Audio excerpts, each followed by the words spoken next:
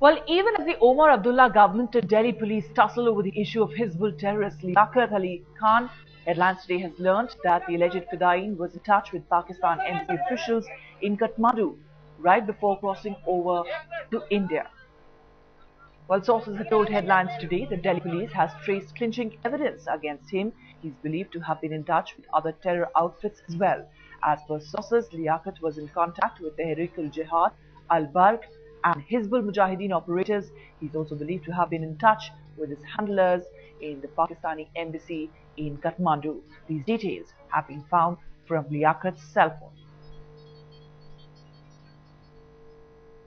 Well, Jammu and Kashmir police may have contradicted Delhi police's version on Liaquat's arrest and the Hizbul plot to carry out attacks in the capital, but the Delhi police is fully backing its investigations and in fact insists that sinister terror plot was in the works.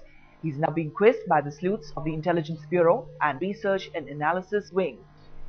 In the meantime, Delhi police has released a sketch of a suspected Hizbul Mujahideen terrorist who's linked to the suicide attack plot. The sketch is that of a person who checked into the guest house in Old Delhi and left there an AK-56 and ammunition allegedly for Liaquat Ali Shah.